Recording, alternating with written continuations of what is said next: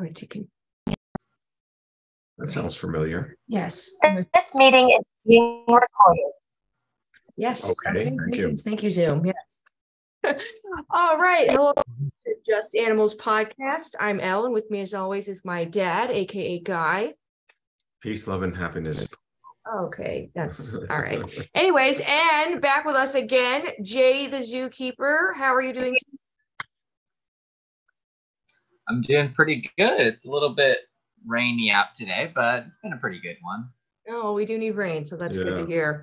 And that's actually going to come into play later with our animal today. So today we are going to be discussing the Cape buffalo, The Cape otherwise Buffalo. known as the African buffalo. And quick side note, which Jay, you probably knew this, I did not, um, that buffalo and bison are not the same animals, even though I know we use the word interchange. Did you know that? It's not the same animal. A buffalo and bison is not the same. Even American. Yes, they're two different animals. Oh, well, let's see. What do you A mean? Let's bison, a bison sheds. There, I don't know if the buffalo sheds. The bi- Okay. bison sheds. Sheds what? They're like a fur coat. Okay, well, I don't know if shedding has anything to do with that. All right, so anyways, the African buffalo, not to be confused with water buffalo, which are Asian and they are taller and also domesticated.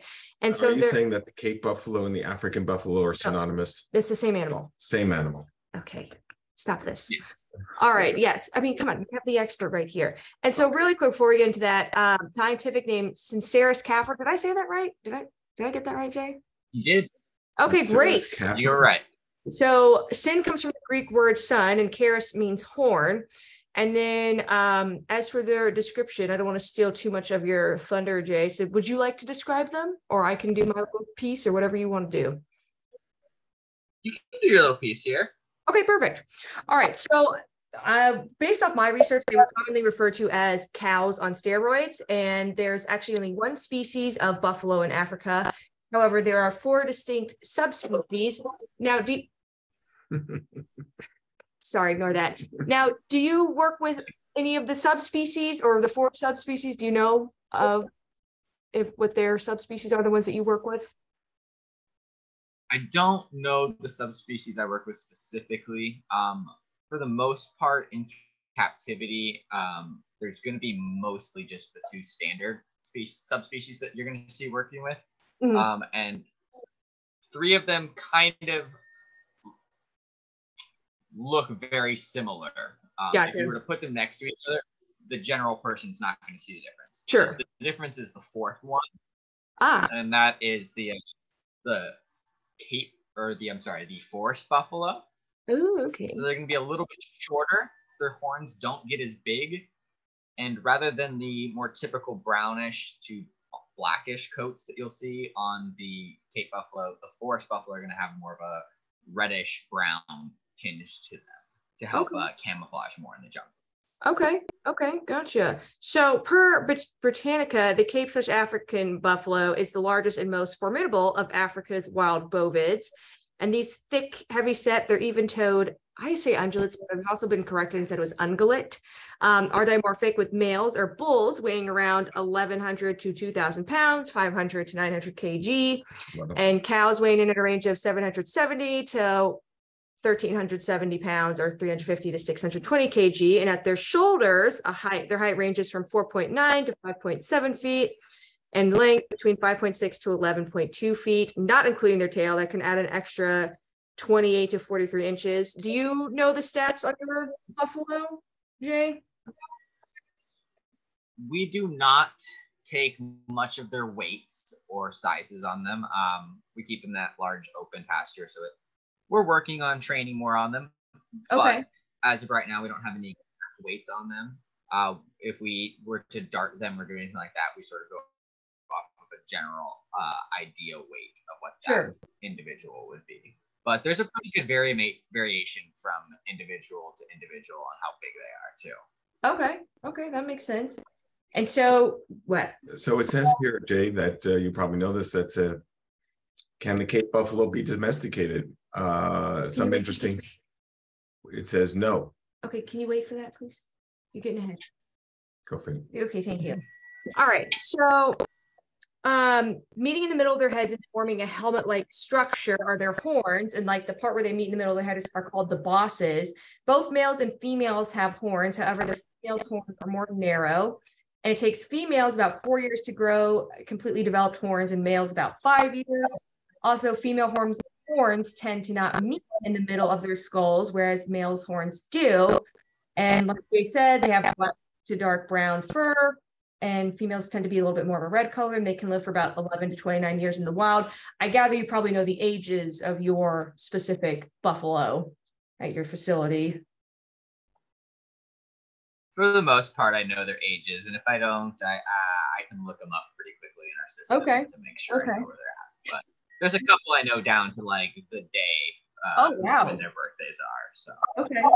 Were your uh, Cape Buffalo born in captivity or were they taken from the wild? all of our individuals were born born in captivity. Um, I believe most of the ones we currently have were all born at my facility. Oh, that's great. Okay. Cool. So speaking of facility and their habitat, they're found in sub-Saharan Africa and gajillion countries like Angola, Benin, Botswana, Burundi, Cameroon, Chad, Congo, Ken- Kenya, Rwanda. They like swamps and floodplains, grasslands, shrublands, and montane forests, ideally anywhere with dense cover, but they can be found in open woodland. They're highly adaptable as well and can be found at elevations as high as 4,000 meters or 13,200 feet. And then speaking of their adaptability, Britannica goes so far as to ascertain that they are one of the most successful of Africa's wild ruminants as they thrive in virtually all types of grasslands in sub-Saharan Africa. And then also a consistent water source is crucial for their survival. Jay, what's their pasture look like? And I imagine there's many water hole, watering hole, or how do you do the watering situation for them since that is a crucial part of their needs and habitat? So uh, our herd lives in a hundred acre pasture uh, with uh, several other species. Um, but for the most part, we keep three large water troughs uh, on a sort of a what's the word like a float valve system. So as Okay. the animals drink from it, it'll auto refill those. Um, but outside of that, we during summers and springs and a little into the fall, we have a, a large wallow that we've dug down with our tractor uh, over near the front of their enclosure, where we will fill up with the hose, so that creates a large wallow for them to sort of roll around in. Oh, And most of the animals in there seem to enjoy. Do, do they need Ah. a salt lick, Jay? Uh, they do like salt licks. We keep about two to three out in the pasture just for everybody to use as they want. Oh, interesting. Okay. And then according to Britannica, they will inhabit again just about anywhere as long as it's within a 10 mile, 12 mile max range radius of water. And then as for their diet, they're strictly herbivores, eating various grasses, sedges, leaves, and other plants. And just like cows, they do regurgitate what? No, go ahead. They do have a question for regurgitate their food and chew cud. And to maintain their large size, they rely more on the quantity of food than quality, meaning they can eat much more coarser and taller grasses than most ruminants. And then one figure I got for how much they eat a day was about 13.4 to 35 pounds. And again, water is very crucial for them for their survival. And they can consume as much as 35 liters or nine gallons of water in a few minutes. And females tend to eat a little bit more than males. So I gather since they have this giant pasture, what are they grazing on versus are they being supplemented with hay and whatnot at your facility? So uh, obviously during summer months out here in uh, Northern California, we don't have a whole lot of uh, good quality grasses growing out Right. there. So we Right. feed them a little bit more supplemental grasses and our uh, what we call our silo grain, which is very similar to like it, most cow or horse grains that you get. Um, and essentially they get, for example, our herd we use it's called a bucket that we fill up. Um, and currently our herd is getting about with the whole with the other species in the pasture about three bales of grass hay and about 14 buckets of silo grain Wow. um, and about a third of that is just for the buffaloes for the most part so they Oh. get pretty much a bale of hay and about five buckets of grain every single day Oh my gosh. Okay. Yeah, they really are packing it away. Good for them. So Jay, let's uh Oh yeah. let's let's talk for a second about zoo talk. What? So as your herd breeds, Can you wait for reproduction if we're no, no, we're not talking about reproduction. I'm Mhm. talking zoo talk. Just Oh, take a okay. pill. Do you um put out on the uh Craigslist of uh AZA, uh, hey, we have uh, one too many uh African buffaloes and are who's interested and do you swap? Do they pay for it? Or I don't even know if you can sell it. I mean, how does that work when you like your herd's getting a little too big for your facility? Um, so we work with both AZA and ZAA facilities. Um, and uh, our Cape Buffalo herd right now, I believe, I don't believe it's an AZA herd currently. Genetics aren't there, uh, but we do swap with some ZAAs and some other safari parks. So um, you can find some of our genetics of our Cape Buffalo at some of our neighboring safari parks and things like that as well. Uh, but we'll make trades and deals the same way that other facilities do. Um, we try not to sell individuals. It's not what we'd like to do. Um, but when you're dealing with other private facilities, sometimes that's what you do. You sell an animal to them, and then later on, you buy an animal from them later on. Um, but it's still essentially just a more monetary version of a trade between two facilities at that point.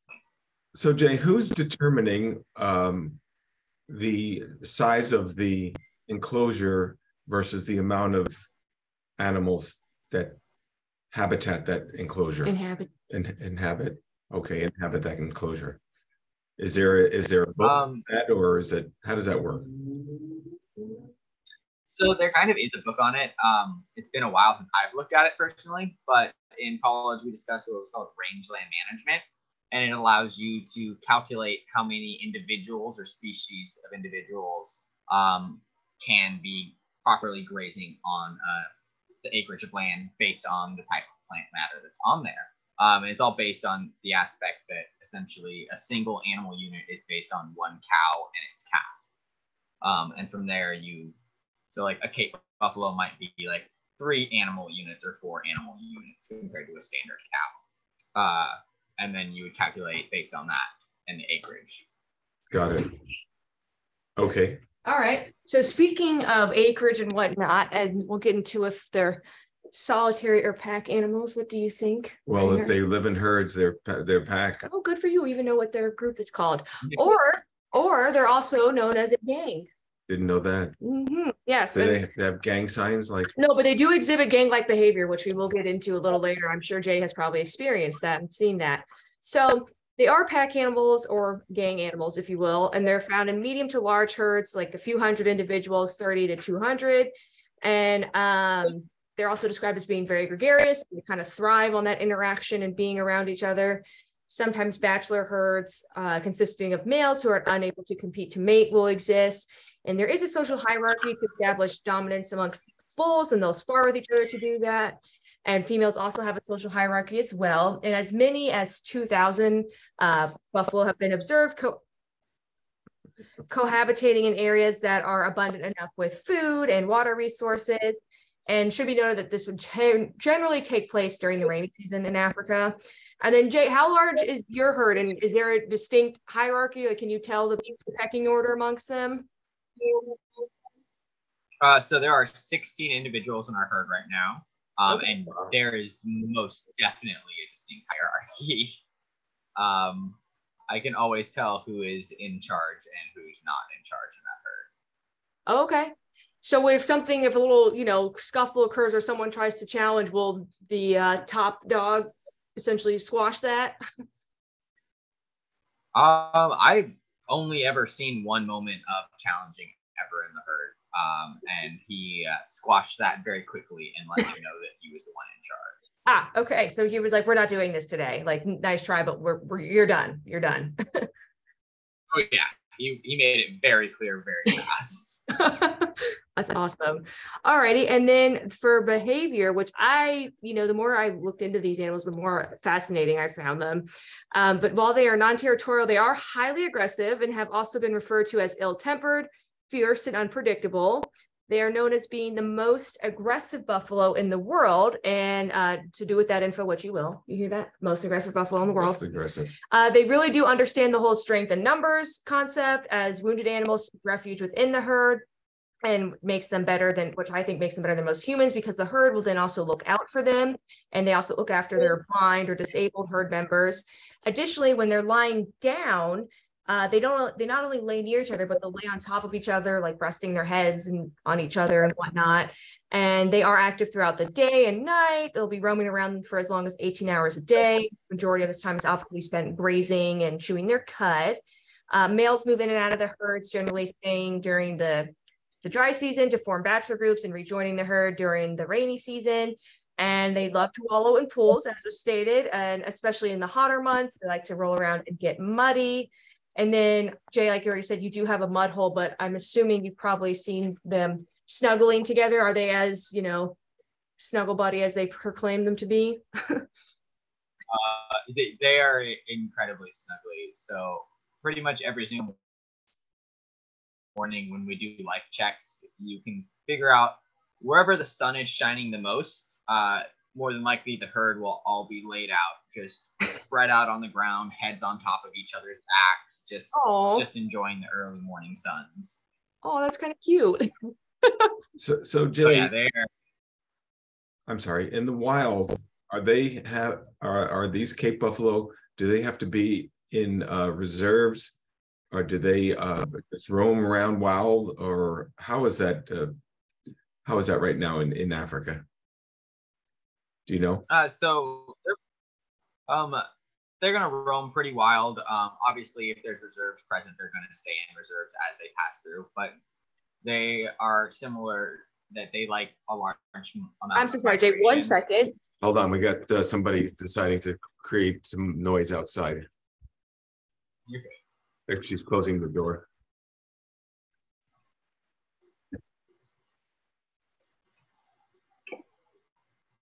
All right. Quiet on the set. Okay, sorry. Continue. No, yeah. So they love, uh, they migrate uh, pretty heavily in Africa as well um, to follow with the wet seasons. Um, so they'll be in reserves, but there's going to be times of the year where they're more in one reserve area than others. Um, but conservationally speaking, they're not really threatened currently, but their population is decreasing, like a lot of the large uh, animals and herbivores in Africa are uh, mostly due to habitat fragmentation and just urbanization. As people keep building out and more agricultural and stuff like that, a lot of the area that they use to migrate through areas gets taken, and suddenly the normal paths they would take uh, aren't there anymore. Right, right. Okay. Yeah, that makes sense. Is, is, um, I'm not sure what climate issues Africa is having, but are they Probably the same suffering from a drought that will impact the You mean a drought? drought, drought, yeah, of population of animals? Um, it's been a while since I looked into it, but from what I remember, is there's their droughts are more essentially more severe than they would normally be, and their rain seasons are more severe than they would normally be. So they're having um, this extreme on both ends. Yeah, which obviously is going to cause a problem for the animals uh, in the end, um, because if there's more extreme dryness, it's going to be farther and farther for these herds to have to travel to get to water sources that they would. Right, right. True. Okay, yeah, that makes sense. And then speaking of sparring, uh, it's initiated when one male approaches another male and presents his horns. They then lock horns and twist from side to side. They go for about seven rounds, lasting 10 seconds each. Seven rounds. Uh, they can kill each other, obviously, if conflict escalates to that point, which eek.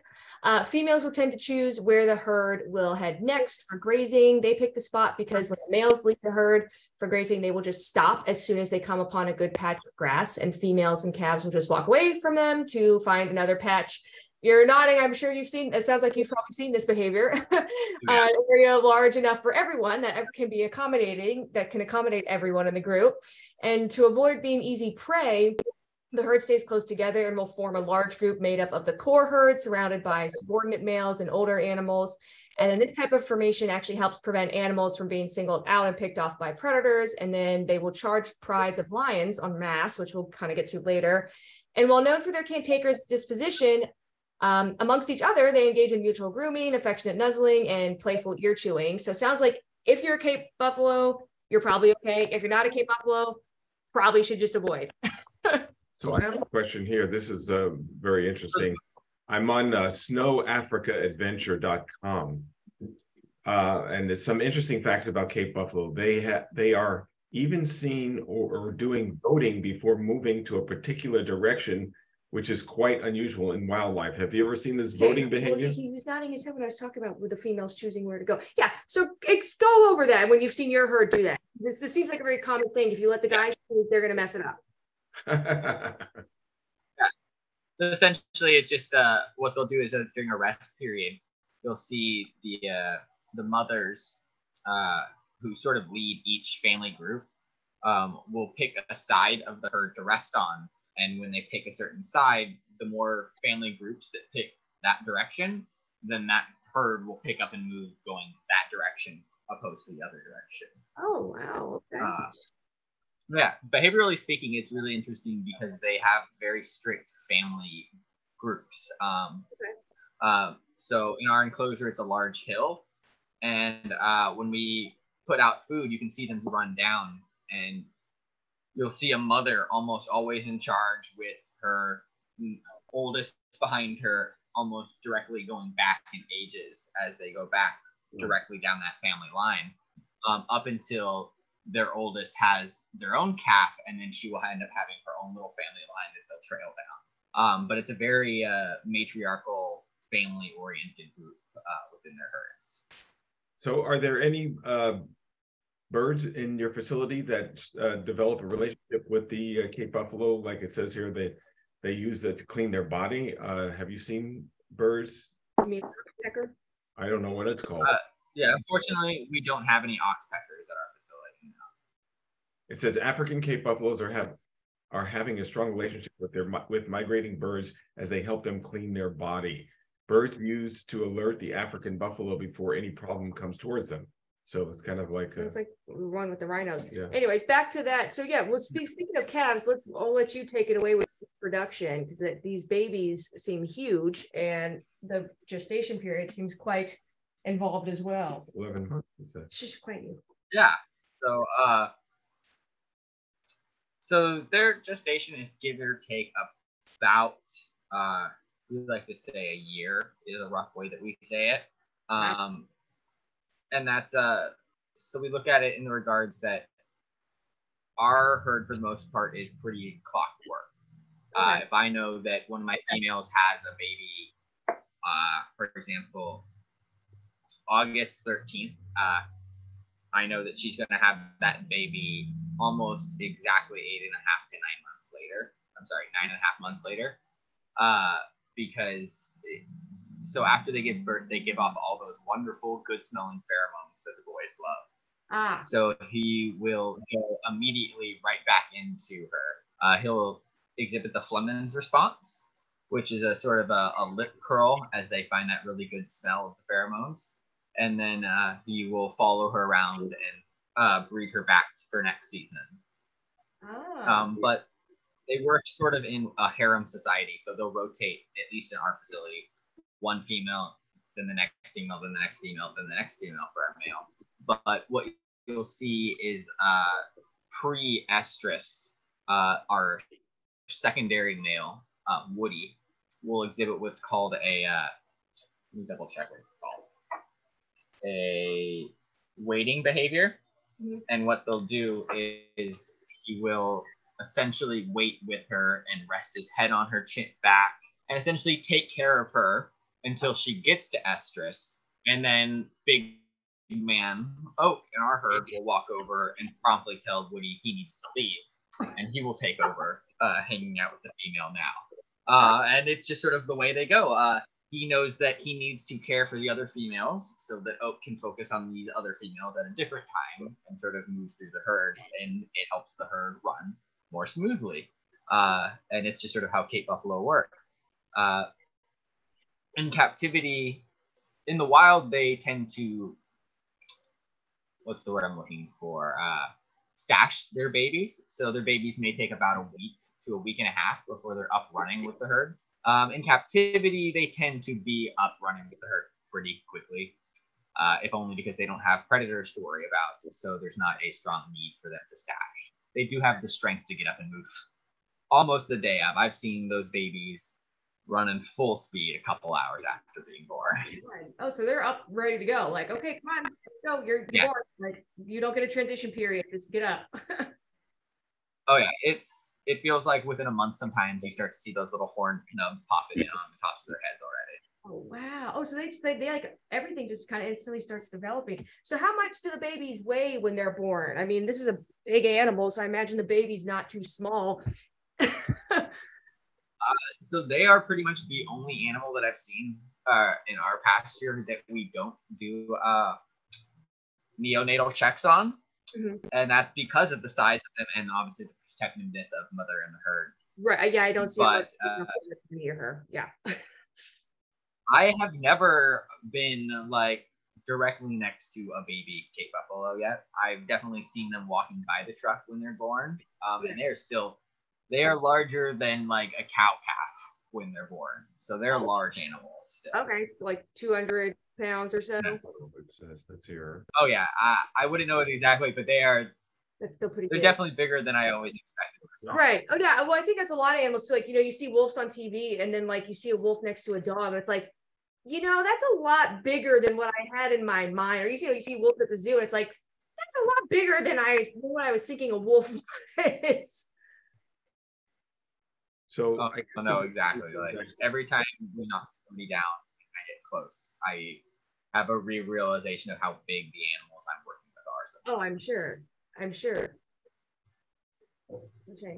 The, I was going to say that uh, they kill a lot of people, Where the- hunters. We get to that part. What- There's a what- human encounter section. Oh, human encounter. Wait, I didn't know. you that. know the you know the outline. Stop Should this. we put on some light? Yeah, I should. Anyway, okay, as for means of communication, most communication is visual, it is in the form of body language, um, i.e. like posturing, lowering of the horns to initiate sparring. Will they like play fight, or I'm sure will the calves play fight or play spar? Oh, see, now you're talking my favorite thing. Uh. So in our, our herd, we have uh, two boys. Um, they are brothers, and they're about a year, year and a half apart, if I remember correctly. Krang is the older one, and Voorhees is the younger one. Mhm. And uh, obviously, since we're talking about means of communication, it's a really, really fun little anecdote with them and their little family. So uh, Voorhees was born a little after I started. Uh, just side note, he got his name because he was born on Friday the 13th. I was about to say, is it Uh, the so- theme? Like you know, shelters will do Yeah. their names for the month. Yeah. So just uh, most of our younger buffalo in the herd are all named after like villains in movies and TV shows and stuff. Uh, Love it. but so Krang and Voorhees. Uh, The Simpsons. so right after I started, Voorhees was born, and uh, his mom would take Mapingo. Mapingo would take Voorhees and walk him around, and Krang. This was his first time he'd experienced his mom have a cat. So he Oh, would sit up there at the top of the bomas, and you would just hear him cry. Just, just these sad, sad, wah, wah calls as mom would walk away with the new baby. oh, Um, but as they sort of uh, grew up together, it was really interesting to watch because Krang became this like really interesting big brother towards not just like Voorhees, but towards all of the little baby buffaloes that would start to come after him. Um, and you'd see Krang as just like this male who is like ready to go play with them, and he's always super excited to be around them, always wrestling with horns. Um, you can catch a moment where he'll get excited, and then you'll just see the babies get the zoomies and just want to go run around with Big Krang all day long. It's adorable. And so it's really interesting to see like he just sort of became this like interesting uh big brother to not just Voorhees but, but the other buffaloes as they develop. Yeah, he went from crying to I've been I've been replaced, resentful to now. Oh, you know, actually, this is kind of working out for me. So, uh, Cows fight? Yeah. Cows will do. Yeah, they'll uh they'll wrestle with each other and just rub horns and heads together. Oh wow. Okay. And then yes, speaking back to our lovely ladies, uh, again, they'll pick where to uh, graze next. And um, per animalia.com, African buffalo make various vocalizations. They emit low pitched calls to signal the herd to move. Uh, they'll signal to their change direction. Leaders emit a gritty or creaking uh, gate sound.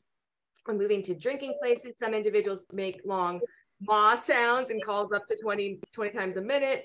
And when being aggressive, they make explosive grunts that may last long or turn into a rumbling growl. Cows produce croaking calls and looking for their calves, and cats make a similar call, that wang noise that when threatened by predators, or I guess when they're sad because they are no longer the only sibling. and these grunts and honks and croaks.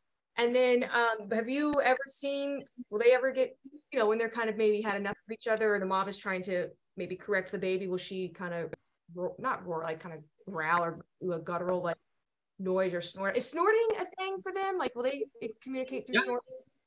Okay. Oh, they are incredibly vocal animals with each other and with us. Um, oh, okay. And they've had enough of each other, or like if we're driving by in the truck and we'll stop and we have to like look, try to look everybody over, make sure nobody's got any cuts or scratches on them, make sure sure. they're doing good. Um, but some of them, like uh, Ivory or Trap, if they've had enough of you, um, they will stomp those hooves and they will just puff at you Ooh. and just snort. And that's their sign of like, hey, I'm done. I'm done. I I'm don't done. want you here anymore. Right. And, like, yeah, they don't do anything, but uh, it's nice to understand that they're like, cool, they're communicating with you. Uh, right. So I should respect that. Right. We're done right now. We can always circle back later and take a look. Right. Uh, but yeah, they'll snort, they'll puff, they'll grunt. Um, I've seen them do it to each other and sort of swing their heads at each other to tell the other one to like knock it off or get out of my way. Right.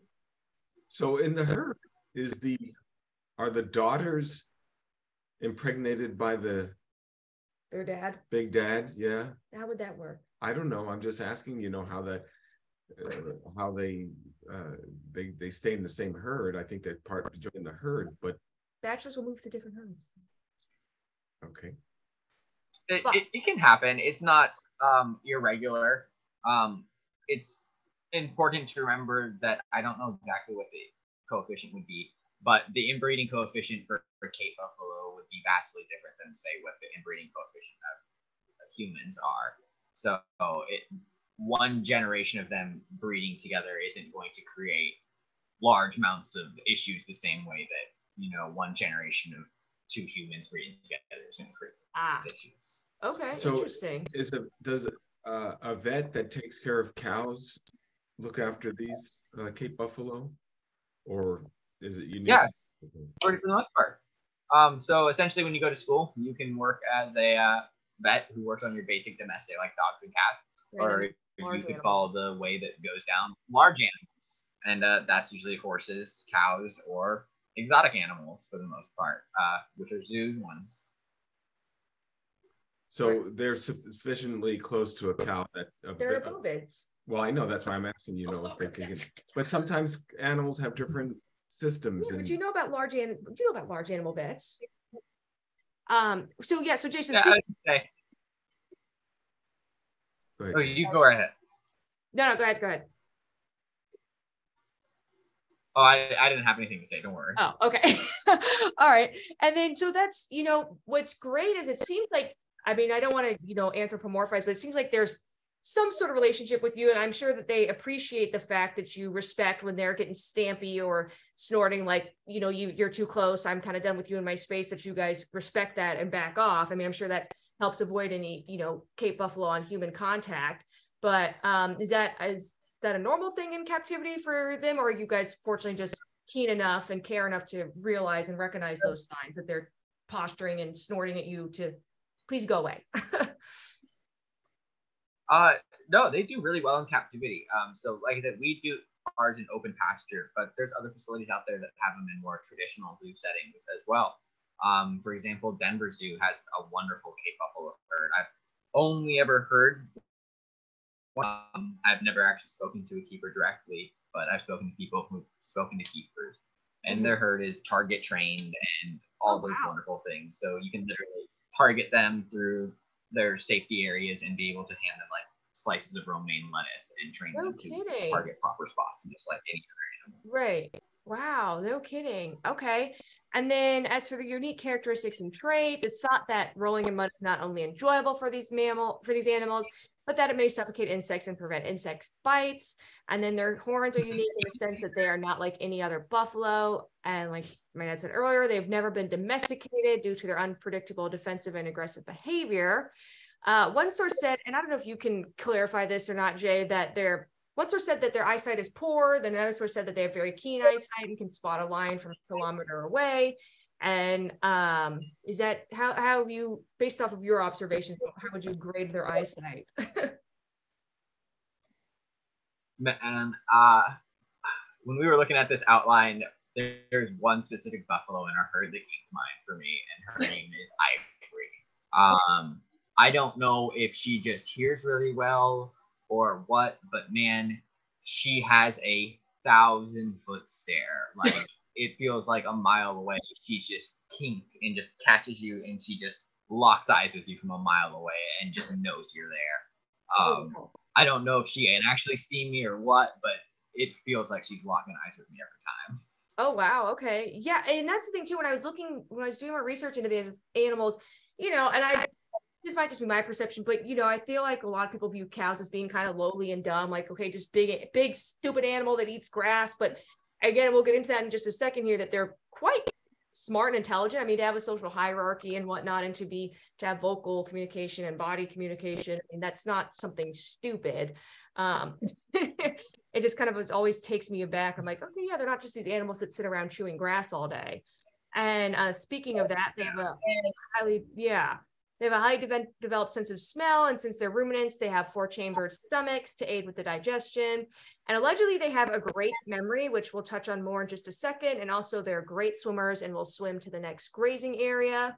Um, as for their predators and threats, obviously, like Jay said earlier, biggest predator and threat was habitat loss and fragmentation due to the expansion of agriculture.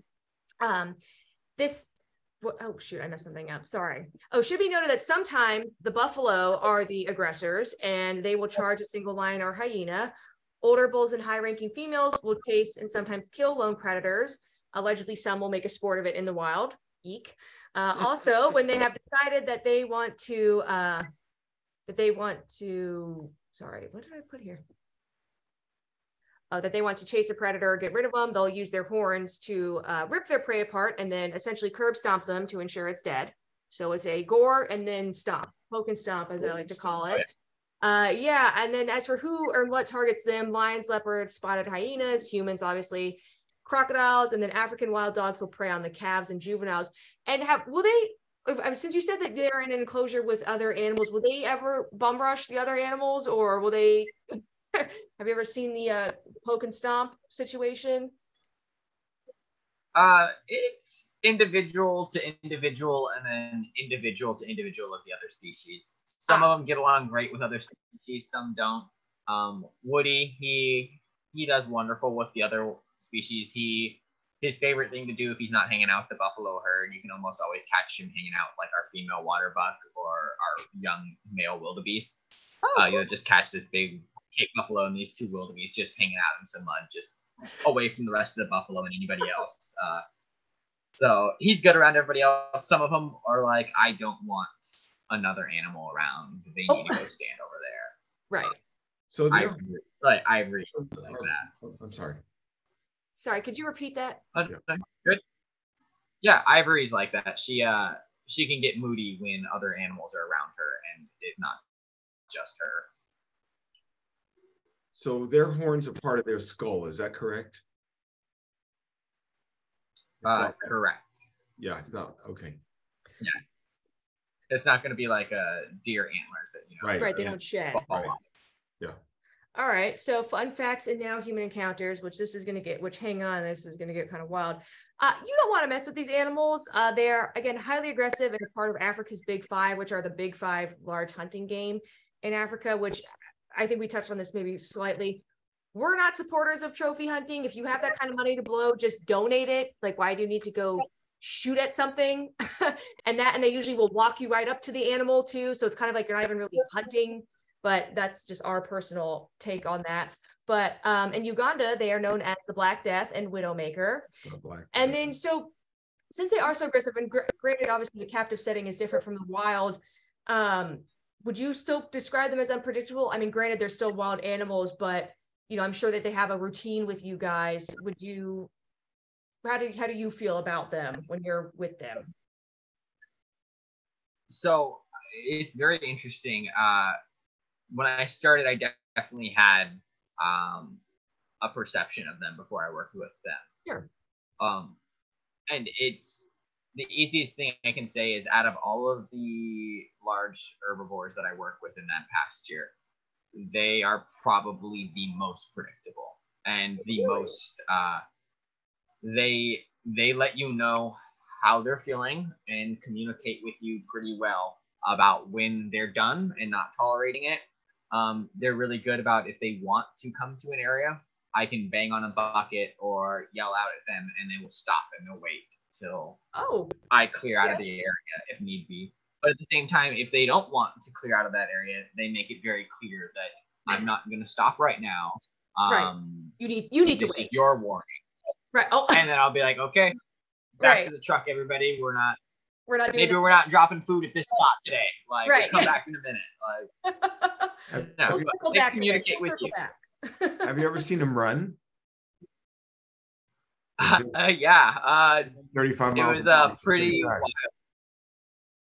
It was uh, we had an incident with a buffalo, and uh, so we were trying to keep uh, our two males separated at a moment, and uh, the herd did not like what we were doing, and I have never seen them move like that before in my life. Um, I still think about it, and it was the way the herd sort of came down over the hill. It felt like it would fit perfect, perfectly with that. Uh, what is it? The the run of the Valkyrie song. Yeah, I was just saying. I was just thinking of uh, Wagner's yeah Valkyrie yeah, song. It, da, da, da, you know, it felt like it would fit perfectly with them the way they all just took off running together. They moved like as a single little organism of a herd as they ran.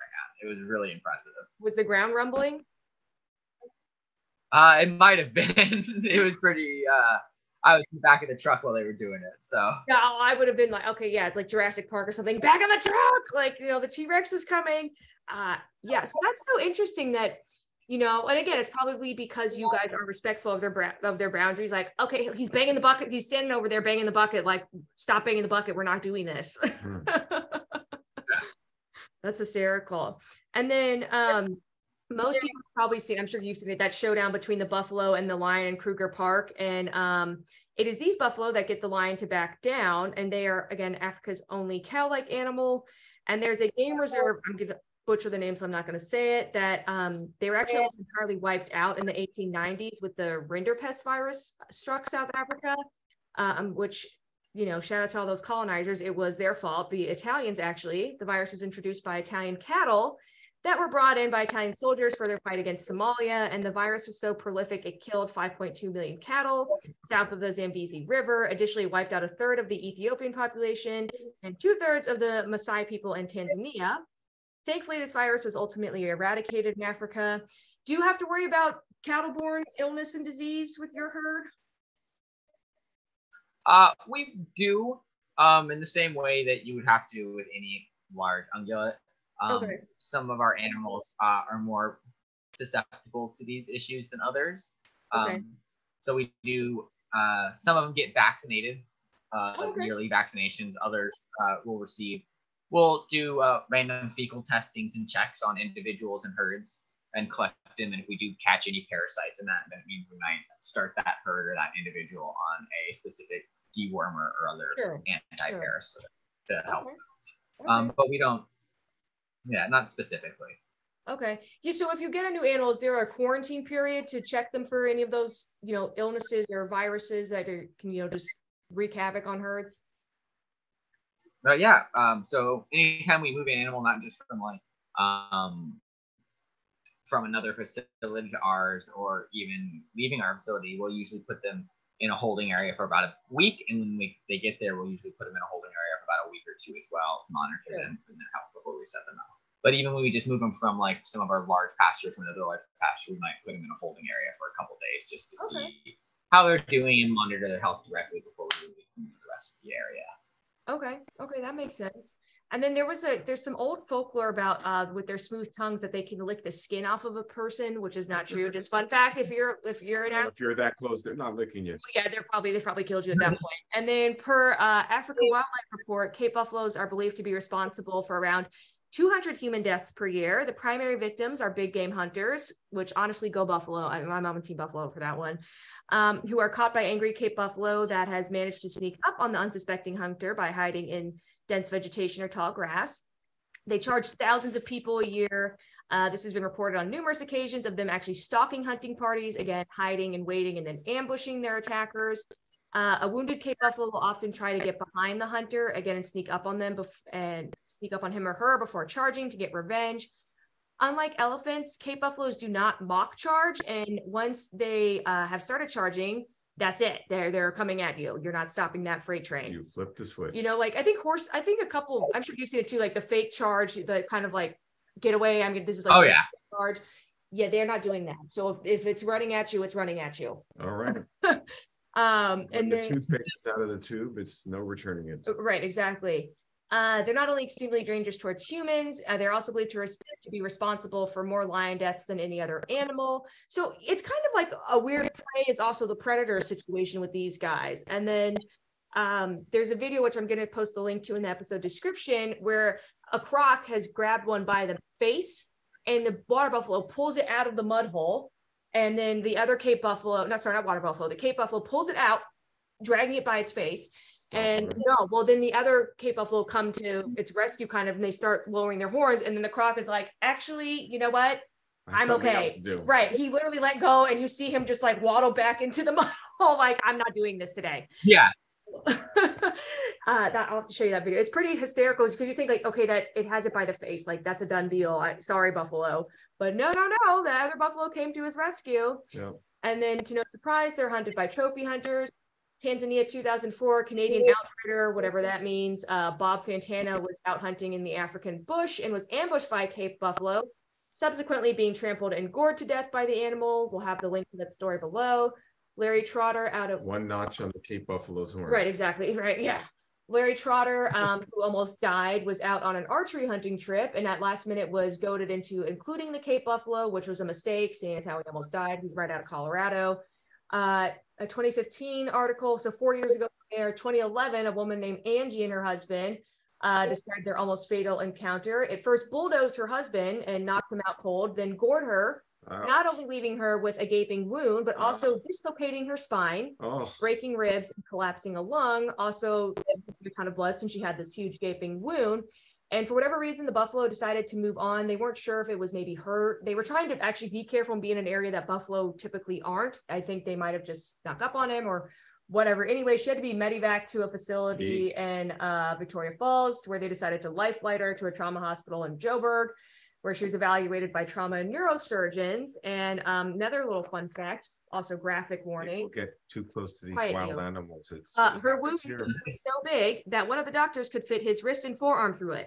Lovely. He could see her bowels and the bottom of her lungs. Ouch. Yeah. So Angie, Well, I feel bad for them because I don't think they no, were. they no see that this one is the one where it's kind of like eek. They were on a safari, and again, they were trying to do everything right, and it just Yeah. someone just missed something. I need to be in one of those tiger, uh, no shark cages if you go see them. But uh, Angie is still alive. So is her husband. Um, she is paralyzed though from the Oh. accident. God, But um, again, I'll link the story to her uh to in in the episode description. terrible. And then a female actually had the largest set of horns on record, measuring 64 inches, so five foot four inches. Could you imagine that? Wow, So, 64. yeah. That's huge. So the poke and stomp. I mean, do they will they kick? Will they kick animals too? I mean, I know they stomp, they curb stomp, but will they kick you I if think they they, can? I've seen them buck like a buck. You No, mean no, like, no, no, no, no, like you know, like you'll see a Um, throw its leg out or its back leg, and like no, it's more of the back legs. They can't kick the front. No, not really. Their legs are uh, kind of uh, stumpy compared to their body size. Yeah. Uh, they don't really have the ability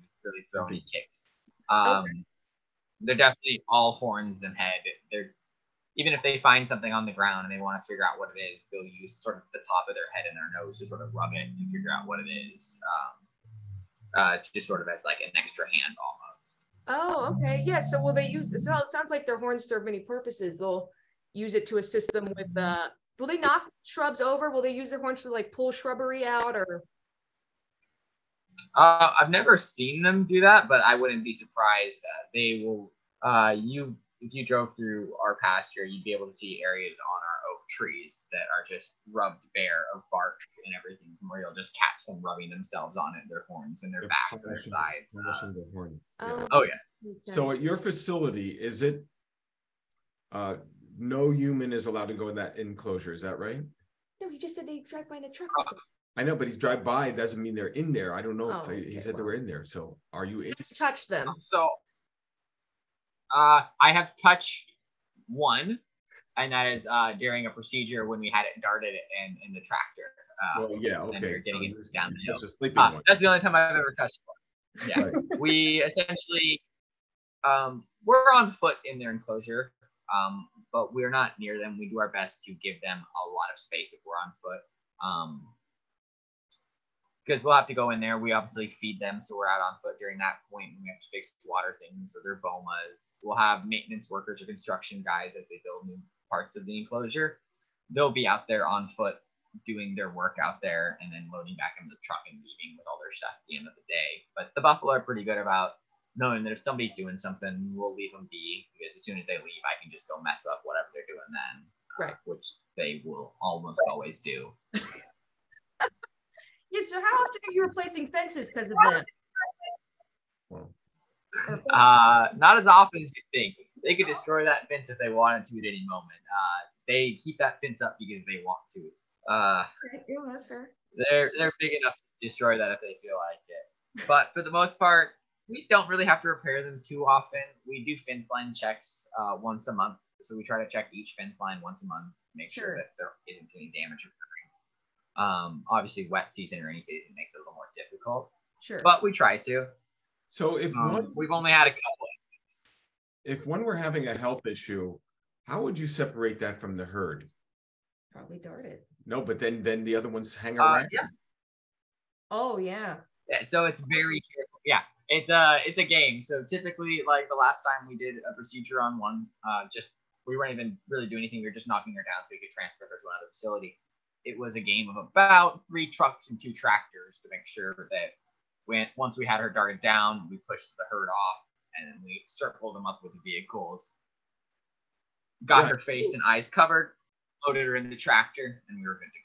So were they were they I'm sure they were probably talking to you guys because you were kind of, you know, there it seems Yeah, like their they- instinct is to go help. So when they weren't able to help, were they getting fussy and stompy? I mean, they could ram that truck with their horn, sure, uh, for sure. Oh, right? they definitely could. Um, luckily uh, for us that day, uh, the for some reason I don't know why, um, when we darted her, the dominant male in the herd thought it was the secondary male's fault.